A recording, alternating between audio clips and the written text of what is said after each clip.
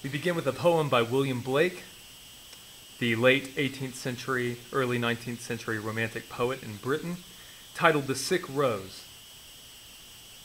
Before we look at the poem, it's helpful to remember that William Blake believed in what he called the two contrary sides of the human soul, sides that he termed innocence and experience. He even published two of his collections of verse titled Songs of Innocence and Songs of Experience, where he has several poems in Songs of Innocence, uh, like The Lamb, um, that are associated with purity, peacefulness, harmony, light, childhood, elements of the human experience that he deemed to be filled with meaning, but of a calming and more assured, more confident, and faithful side, particularly with his view of God and of the Bible.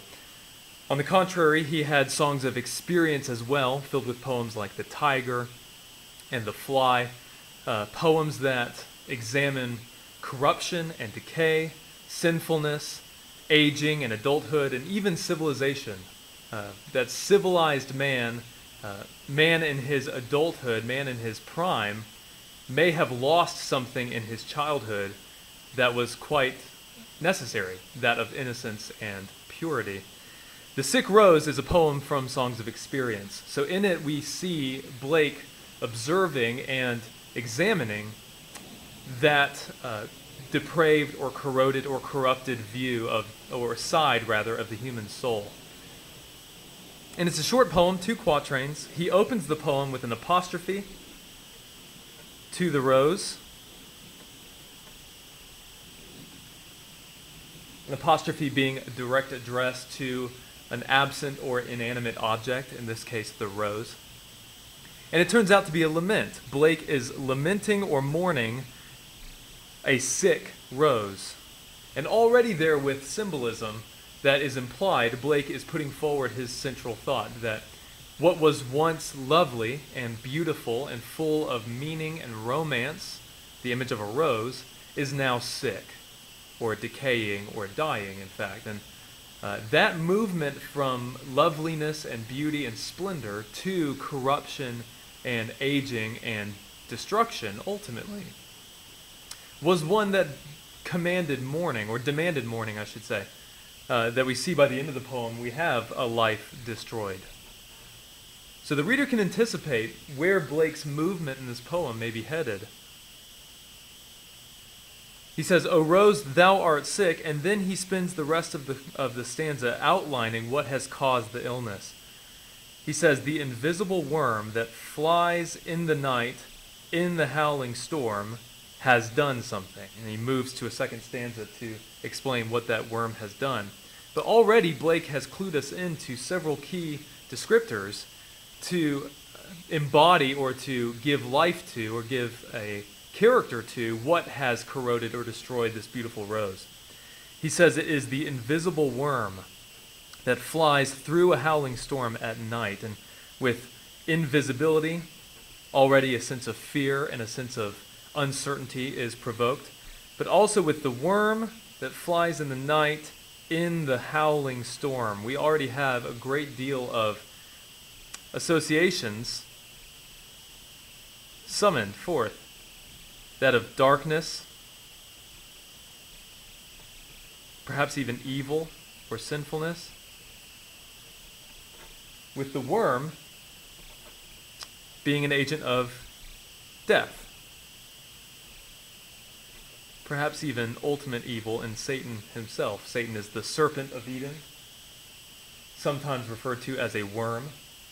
And the fact that he howl, he flies through the howling storm at night to penetrate and embed himself into the heart of this rose is a very invasive and threatening and aggressive scene that is not too far from a reading of evil and death penetrating deep into the life of things, the very heart of beauty. And the garden image of the rose and of the worm is one that brings to mind the Genesis account of Eden. And it's in line five where Blake brings about the sadness of the poem. This worm that has flown through the night and has landed and nestled itself deep into the heart of this rose, has found out thy bed. Quite literally, discovered it. He has unraveled or exposed the very heart of, the very essence and center of this poor rose. So the worm embeds itself in the rose, finds out its bed, which we might have two meanings here. One being the bed of the rose, the literal center of it. But then, secondly, you have the image of the marriage, the marital bed, being found out or being uncovered, discovered.